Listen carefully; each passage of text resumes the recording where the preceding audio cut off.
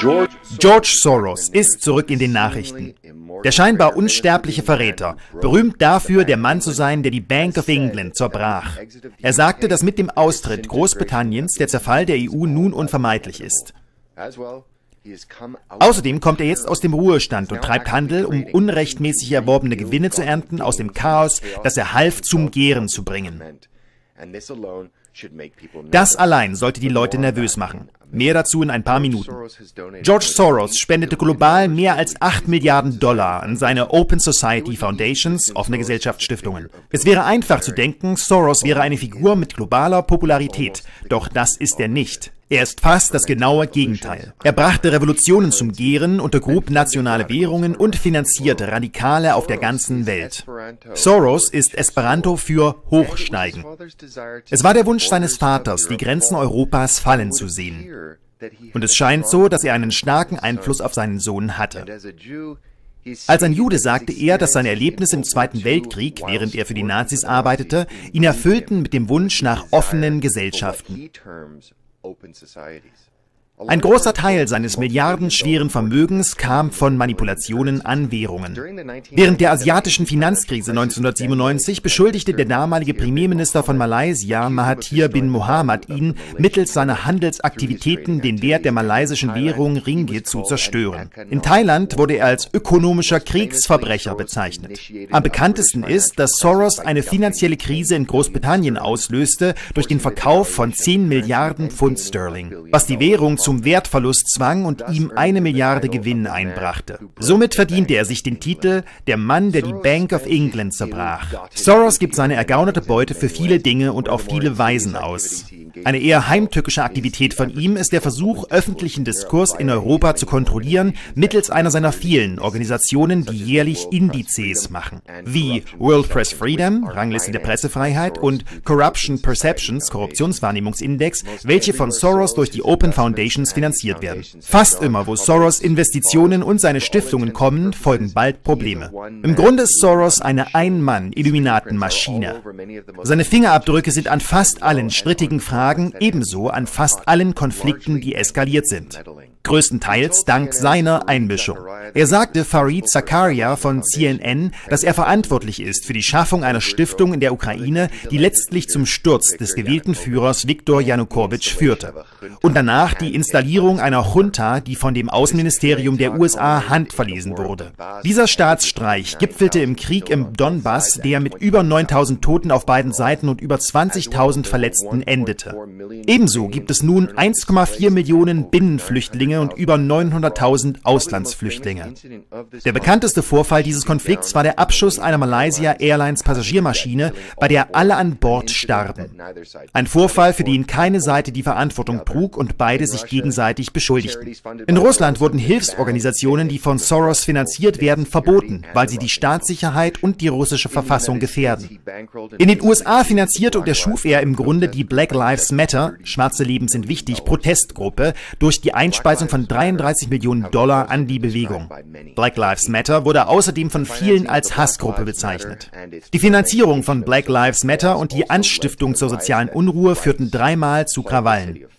Sie plagten die Stadt Ferguson, Missouri 2014 und 2015 und auch 2015 Baltimore. Alle haben zu einer auffälligen Verschlechterung der Beziehungen zwischen den Rassen in den USA geführt. Das einzige Land, in dem er kein Chaos seiner Machart zur Gärung bringen will, ist Israel.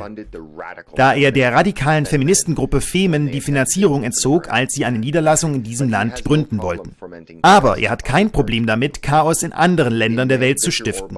Im Mai beschuldigte der Premierminister Ungarns, Viktor Orban, Herrn Soros, welcher auch in Ungarn geboren wurde, die Migrantenkrise bewusst begünstigt zu haben. Diese Invasion wird angetrieben, auf der einen Seite durch Menschenschmuggler und auf der anderen Seite durch diese Menschenrechtsaktivisten, die alles unterstützen, was den Nationalstaat schwächt. Diese westliche Denkweise und dieses Aktivistennetzwerk wird am besten vertreten durch George Soros. Nachdem aufgedeckt wurde, dass Soros-Organisationen Anleitungen an die Migranten auf dem Balkan verteilten, die beschrieben, wie man illegal nach Europa kommt, wurde Soros von der ungarischen Regierung verurteilt. Soros veröffentlichte nun eine Erklärung an Bloomberg, in der er behauptet, dass seine Organisationen dabei helfen, die europäischen Werte zu wahren. Während Herrn Orbans Vorgehen, die ungarische Grenze zu stärken und damit einen riesigen Migrantenzustrom zu stoppen, diese Werte untergraben würde. Sein, Orbans Plan, behandelt den Schutz der nationalen Grenzen als Ziel und die Flüchtlinge als ein Hindernis dessen, fügte Soros hinzu. Unser Plan hat den Schutz der Flüchtlinge zum Ziel und nationale Grenzen sind dabei ein Hindernis. Soros ist ein Unterstützer der EU und hat gefordert, dass Europa mindestens eine Million Flüchtlinge jedes Jahr aufnehmen soll und sie entscheiden zu lassen, wo sie leben möchten. Doch er weiß, dass Europa es sich nicht leisten kann, all das zu bezahlen. In einem weiteren Interview hat Herr Soros weiter zugegeben, dass es für die EU unmöglich ist, die Kosten mit dem momentanen Budget zu begleichen. Und darum befürwortet er die Aufnahme weiterer Schulden. Er sagte nüchtern, die EU ist teilweise deswegen am Rand des Zusammenbruchs und dass das Überleben der EU auf dem Spiel steht. Und als er gezielt nach der Entscheidung Großbritanniens, die EU zu verlassen, gefragt wurde, war er sehr deutlich. Jetzt ist das katastrophale Ereignis, das viele gefürchtet hatten, wahr geworden, was den Zusammenbruch der EU unaufhaltsam macht.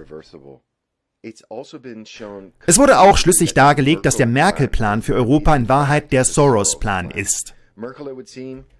Merkel scheint, wie so viele andere Politiker, nur eine weitere seiner Marionetten zu sein. In seinem neuesten Artikel für den New Eastern Outlook schildert der amerikanische Autor, Forscher und strategische Risikoberater F. William Engdahl, dass sich das, was der Plan genannt wird, als eine Folge unerklärlicher Handlungen herausstellte, inklusive der Verletzung der freien Rede, um dem umstrittenen derzeitigen türkischen Regime zu huldigen. Alle dieser scheinbar unerklärlichen Handlungen der einst pragmatischen deutschen Kanzlerin scheinen darauf zu gehen, dass sie ein 14-seitiges Dokument annahm, welches vorbereitet wurde von einem Netzwerk aus Pro-NATO-Denkfabriken, dreist der Merkel-Plan genannt. Tatsächlich veröffentlichte die Europäische Stabilitätsinitiative, eine internationale Denkfabrik mit Büros in Berlin, Istanbul, Brüssel und Wien, am 4.10.2015 den Merkel-Plan. Es sei ein Vorschlag für die syrische Flüchtlingskrise, welcher auffallend ähnlich ist zu der Strategie, die die Kanzlerin seitdem in Europa verfolgt. Verdächtigerweise haben die Autoren dieses sogenannten Easy-Plans diesen so betitelt, als würde er vom Kanzleramt kommen und nicht von ihnen. Noch verdächtiger ist der Inhalt des Merkel-Plan von Easy. Zusätzlich zu den 2015 bereits aufgenommenen eine Million Flüchtlinge sollte Deutschland sich darauf einigen, einer weiteren halben Million syrischer Flüchtlinge innerhalb der nächsten zwölf Monate Asyl zu gewähren, die in der Türkei registriert sind. Weiterhin sollte Deutschland Ansprüche der Türkei akzeptieren und sicheren Transport bereitstellen für erfolgreiche Asylbewerber, die bereits in der Türkei registriert sind. Und schließlich sollte Deutschland der Türkei helfen, visumfreies Reisen zu erlangen. Kommt Ihnen das bekannt vor? Die Million-Dollar-Frage ist also, wer steckt hinter der Europäischen Stabilitätsinitiative? Der amtierende Vorsitzende des ESI, der direkt für das endgültige Merkel-Plan-Dokument verantwortlich ist, ist der in Istanbul lebende österreichische Soziologe Gerald Knaus. Knaus ist außerdem ein Mitglied der European Council on Foreign Relations und ein Open Society Mitglied. Es ist keine Überraschung, dass der European Council on Foreign Relations von Soros gefördert wird. Und es ist auch Soros, der die Open Society Foundations gründete. Folglich wird es klar, dass der Merkel-Plan eigentlich der Soros-Plan ist. Und Mutter Merkel, wie sie bei ihren Millionen neuen Migranten aus Afrika und dem Nahen Osten bekannt ist, ist auch die Inspiration für die US-Präsidentschaftskandidatin der Democrats Hillary Clinton.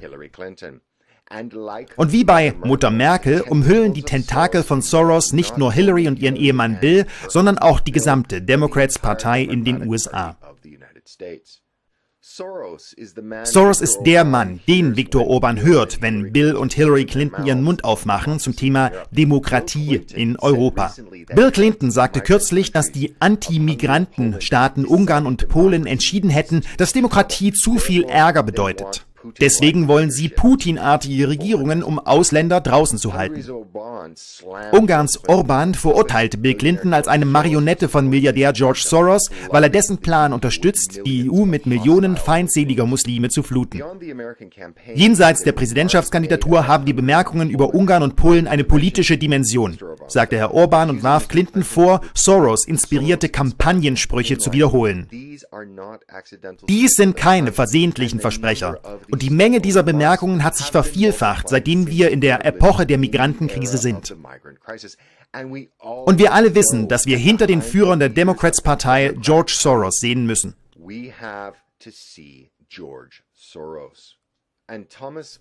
Tomasz Poreba, ein früherer Berater der Komitees für Auswärtige Angelegenheiten und regionale Entwicklung im Europäischen Parlament. Er sagte, dass Clintons politischer Fauxpas über die polnische Demokratie nur die Folge der Befehle von Soros seien und das ist sicher nicht weit hergeholt. Soros ist der größte Spender für Hillarys Präsidentschaftskandidatur. Außerdem hat Wikileaks E-Mails veröffentlicht, die zeigen, dass Hillary eine offene Tür für Soros hatte. Und sie zeigen eindeutig, dass er einen großen Einfluss auf Clinton hatte, als sie Staatssekretärin unter der Obama-Regierung war. Soros möchte die amerikanische Eigenständigkeit beschneiden. Soros möchte nichts mehr, als dass Amerika internationalen Institutionen unterwürfig wird. Er möchte mehr Macht für Gruppen wie die Weltbank und den Internationalen Währungsfonds.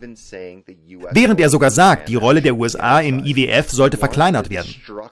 Er möchte die Zerstörung der Nationalstaaten in Europa und die Erhöhung der EU, während er gleichzeitig Nationalstaaten für seinen eigenen Vorteil destabilisiert.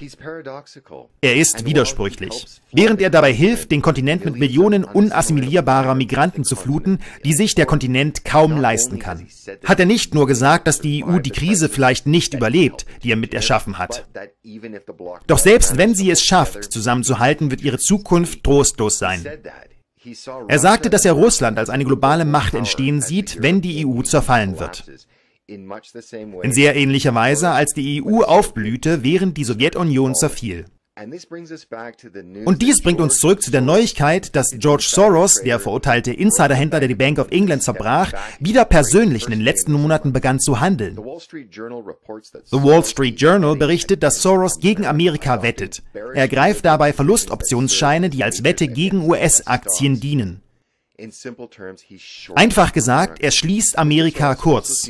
Herr Soros sieht bald eine große Rezessionsblase im kommunistischen China platzen und er unternimmt alles, damit sie auch platzt. Bis zu dem Punkt, an dem die chinesischen Staatsmedien ihm am 7.6. vorwarfen, dass er einen Krieg gegen ihre Währung führen würde. Er versucht Panik für seinen Gewinn zu erzeugen. Er wettet mittels des amerikanischen Chaos, das er mitfinanziert, mittels der chinesischen Blase, die er nun platzen lässt, und mittels des EU-Kollapses, den er mittels der Migrantenlast mit herbeiführte. Und es wird die US-Wirtschaft sein, die den Preis dabei bezahlt. Für den Kontext. Das letzte Mal, als Herr Soros direkt an dem Handel seiner Firma beteiligt war, war 2007. Damals machte er sich Gedanken wegen des Wohnungsmarktes und wettete zwei Jahre auf fallende Kurse, was ihm über eine Milliarde Gewinn einbrachte. Hier haben wir also einen Mann, der Staaten destabilisiert hat, ethnische Bürgerkriege anfachte, US-Organisationen unterstützte, die politische Rassenhetze füttern und zu Krawallen führten. Also er hat außerdem geholfen, eine Migrantenkrise zu finanzieren, die die EU auflösen könnte. Und er wettet, dass all diese Krisen zusammen der USA effektiv schaden werden. Und obendrauf will er die USA bankrott gehen sehen und versucht auch noch Geld zu machen mit dem Chaos, das er half zu schüren. Und das ist der Mentor und Zahlmeister der US Democrats Partei und von Hillary Clinton, ihrer Fahnenträgerin.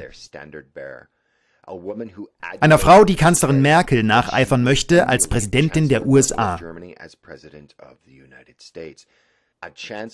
Eine Kanzlerin, welche den Soros-Plan für Europa benutzt und wahrscheinlich untergehen wird als eine der unfähigsten und am meisten gehassten öffentlichen Figuren der Geschichte Europas. Lassen Sie das einen Moment auf sich wirken. Viele der jüngsten Brennpunkte der Welt wurden entweder erschaffen oder angeheizt durch Soros, mittels seiner Stiftungen und seiner Handlanger wie Merkel. Die Tatsache, dass er als ein solch enger Vertrauter von Hillary Clinton gezählt wird, sollte es jedem amerikanischen Wähler kalt den Rücken runterlaufen lassen. Falls es jemals einen Star Wars-artigen Palpatine-Bösewicht gab, der in dem Schatten der globalen Politik lauert, dann ist es George Soros.